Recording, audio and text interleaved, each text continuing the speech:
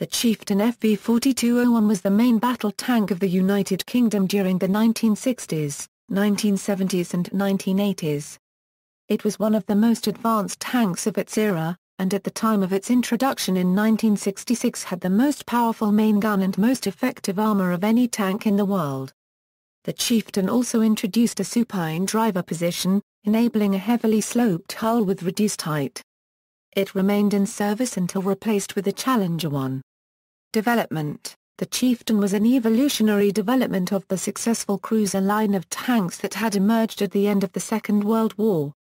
British engineers had learned during the war that their tanks often lacked sufficient protection and firepower compared to those fielded by the enemy, and that this had led to high casualty levels when faced with the superior German tanks in World War II. Centurion addressed this to a great degree, combining higher levels of armor and an improved gun, which made it at least equal to any of the contemporary medium tanks.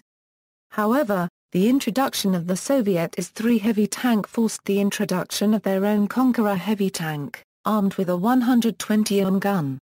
A single design combining the firepower of the Conqueror's 120 mm gun with the mobility and general usefulness of the Centurion would be ideal.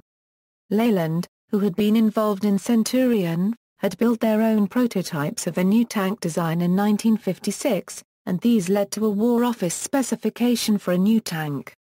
The General Staff specification drew on experience of Centurion in the Korean War and Conqueror. The tank was expected to be able to engage the enemy at long range and from defensive positions, be proof against medium artillery.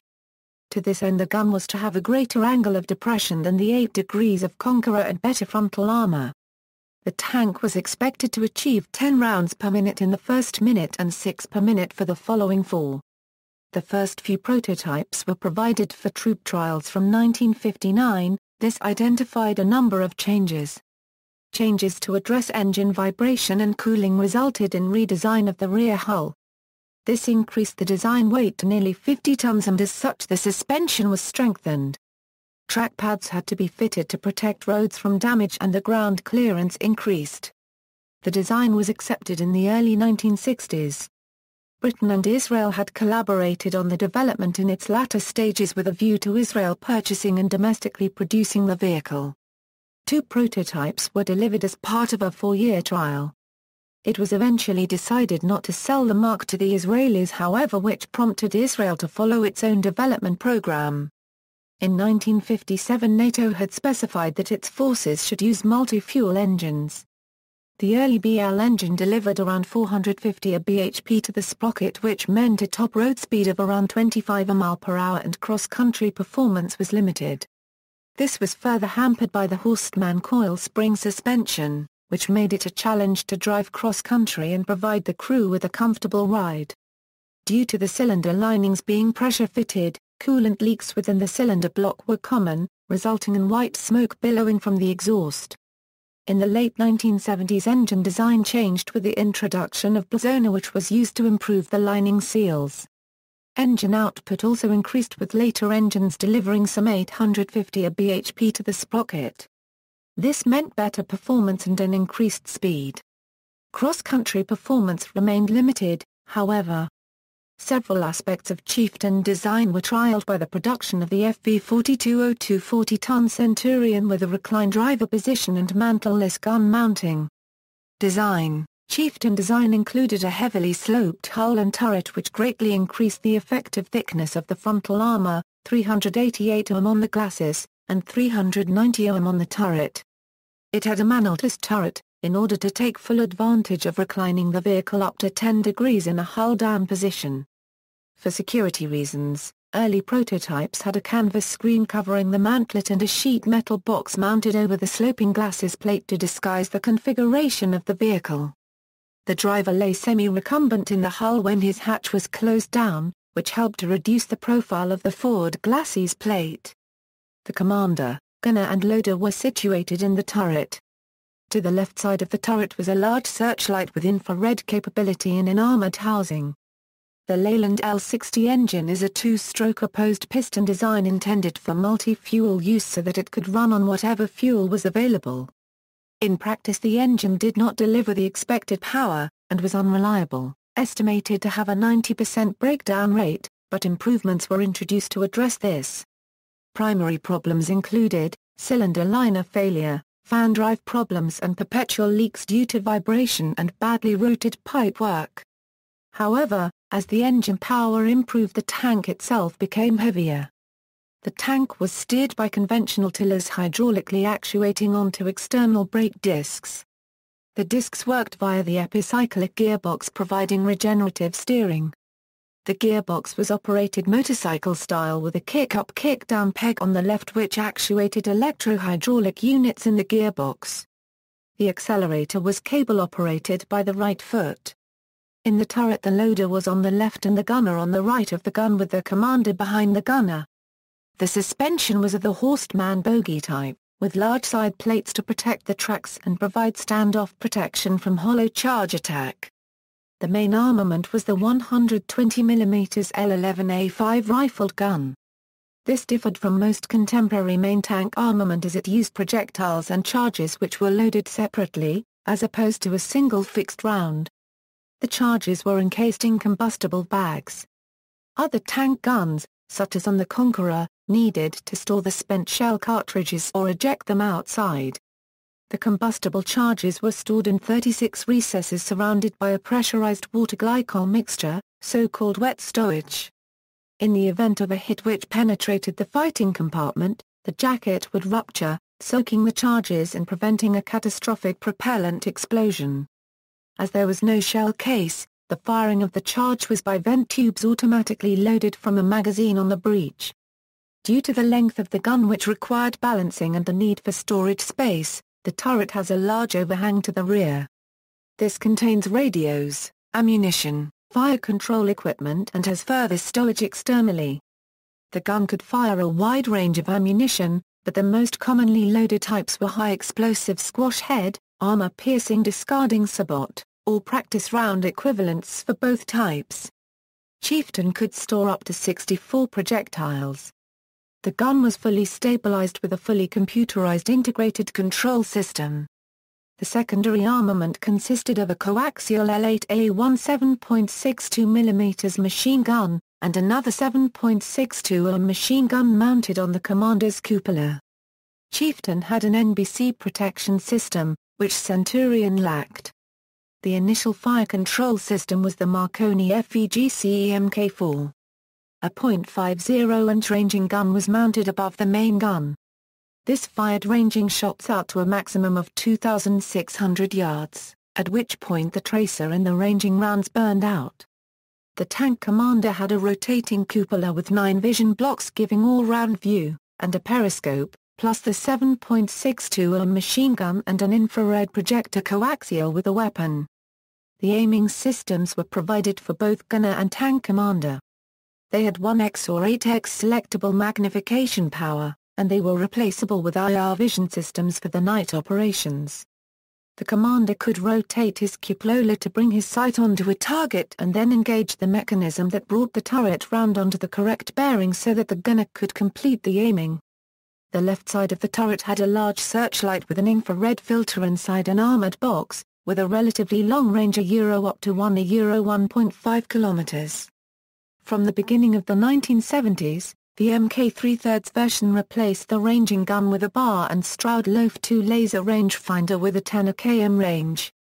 This allowed engagements at much longer ranges, and also could be linked to the fire control system, allowing more rapid engagements and changes of target. On later models fire control was provided by the Marconi IFCS, using a digital ballistic computer. The upgrade was not finished until the end of 1980, when some examples had the IR searchlight replaced with TOGs. Many later examples had Stillbrew armor, meant to face Soviet 125 Ohm tank guns and heavy anti-tank missiles. These became the Mark 13 version. Service Like its European competitors, Chieftain found a large export market in the Middle East, but unlike Centurion, it was not adopted by any other NATO or Commonwealth countries. Chieftain proved itself capable in combat and able to be upgraded with enhancements both for overall improvement and to meet local requirements. The Mark was continuously upgraded until the early 1990s when it was replaced by Challenger 1. The final Chieftain version used by the British Army until 1995, incorporated Stillbrew armor named after Colonel Still and John Brewer from the Military Vehicles and Engineering Establishment, the improved fire control system and the thermal observation gunnery sight. The first model was introduced in 1967. Chieftain was supplied to at least six countries, including Iran, Kuwait, Oman and Jordan. An agreement for sales to Israel and local production was cancelled by the British government in 1969, despite considerable Israeli technical and tactical input into the development of the tank, especially in desert environments, and the use of hull down to maximum effect in the final design. Two examples were delivered to and extensively trialed by the Israeli Armored Corps. This experience spurred the creation of the indigenous Israeli Merkava, the development program of which was led by General Israel Tal, who had worked closely with the British in the Anglo-Israeli Chieftain project. The largest foreign sale was to Iran, which at the recommendation of General Tal, took delivery of 707 Mk3P and Mk5P, 125 a Euro 189 FV 4030-1, 41 ARV and 14 AVLB before the 1979 revolution. Further planned deliveries of the more capable 4030 series were cancelled at that point. The tank was heavily used during the Iran-Euro-Iraq War of 1980-88 with mixed results, engine breakdowns being a common issue. Chieftains participated in the biggest tank battle of the war in early 1981. Iran lost 200 Chieftain and M60A1 tanks in battle. In return, Iraq lost 50 T-62 tanks. Only 60 chieftains managed to survive the war with Iraq. Kuwaiti chieftains participated in the 1990 Iraq-Euro-Kuwait War. The Kuwaiti 35th Armored Brigade fought at the Battle of the Bridges against elements of the Iraqi Hammurabi and Medina divisions before withdrawing over the Saudi border 136 tanks were captured by Iraq. Only seven tanks managed to survive the war with Iraq. Media, a Chieftain Mk5 being driven on Salisbury Plain appears on the cover of the 1971 Uriah Heep album Salisbury, specifications, crew, 4, combat weight, 55 tons, overall length, 10.8 am gun forward, hull length, 7.5 am, height, 2.9 am, width, 3.5 am, power plant, Leyland L6695 or bhp, range, 500 km, maximum road speed, 48 km per hour, cross-country speed, 30 km per hour, armor, turret front, 195 MRHA. Armament, 120 mm L11A5 rifled tank gun, rate of fire, 10 rounds per minute for the first minute and 6 thereafter. Elevation, minus 10 to plus 20 degree, laser rangefinder. Coaxial L8A1 7.62 mm machine gun, cupola-mounted L37A1 7.62 mm machine gun, Mark I and Mark II models had a coaxial Browning .50-inch ranging machine guns prior to the introduction of the laser rangefinder. Equipment, twin Clansman VRC 353 VHF radio sets, one C-42 1B-47 Larkspur VHF radios, two X6 barrel smoke dischargers on turret, bulldozer blade, variants, Chieftain Mk1, 40 training vehicles for 1965 a Euro 1966. Issued to 1 ATIA and 5 RTR for troop trials. Chieftain Mk2 first service model with 650 HP engine. Chieftain Mk3, extra equipment fitted giving rise to several submarks.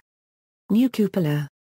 Chieftain Mk5 final production variant, with upgrades to the engine and NBC protection system. Chieftain Mk6-9A, incremental upgrades to earlier marks of tanks, including addition of Clansman radios. Chieftain Mk10A, Mark 9 upgrade, addition of Stillbrew crew protection package to the turret front and turret ring. Chieftain Mk11A, Mark 10 upgrade, searchlight replaced with the thermal observation and gunnery system, manufactured by Barr and Stroud. Chieftain Mk12 13A, uh, proposed further upgrades, cancelled when the Challenger 2 was introduced. Chieftain 900A, uh, Chieftain with Chobham armor, FV4205 AVLB, bridge laying vehicle, FV4204 ARV armored recovery vehicle, armored recovery and repair vehicle. Chieftain AVRE, armored vehicle Royal Engineers, a British Army combat engineering variant used by the Royal Engineers. Chieftain Marksman, self-propelled anti-aircraft gun version, equipped with a Marksman twin-gun turret. Chieftain Mine-Clearer, mine-clearing development. Chieftain Sabriya, twin 30 MAA turret. Khalid Sherwana, Jordanian with a running gear of the Challenger 1.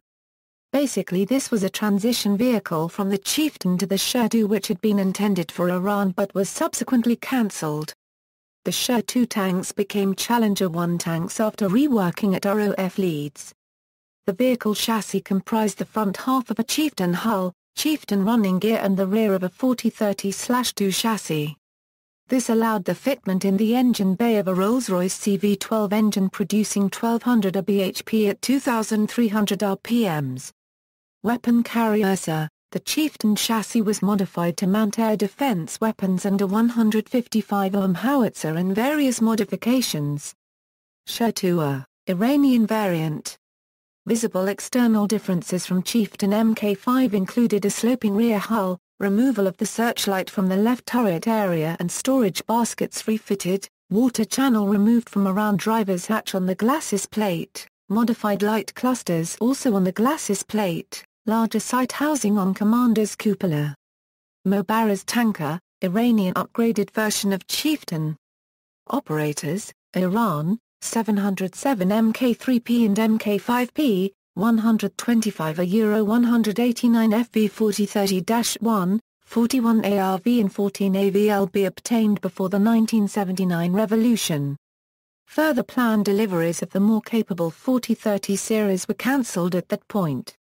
100 in service as of 2005, a Jordan, 274 Khalid delivered between 1981-1985 plus 90 Mk5-5 from Iraq 350 in service, El Aman, 27 delivered 1981 a Euro 85. Former operators, a United Kingdom, used from 1965 to 1995. A Kuwait, 175 in 1976, 143 in 1989, 20 in 1995, 17 in storage in 2000. Iraq, 50 to 75 tanks in service with Iraqi Army in 1990. Most upgraded to Khalid level with air conditioning for crew and reinforced armor and night vision. Israel, two delivered for the joint Anglo-Israeli developmental project. In Israeli Armored Corps service for trials 1965-69. See also Centurion tank, Merkava tank, M60 tank, T-62, T-72, T-64 approximate Soviet equivalent, references, notes. Bibliography, Norman, Michael, AFV Profile Number 18 Chieftain and Leopard, Profile Publishing. External links, fas.org, Chieftain Tank.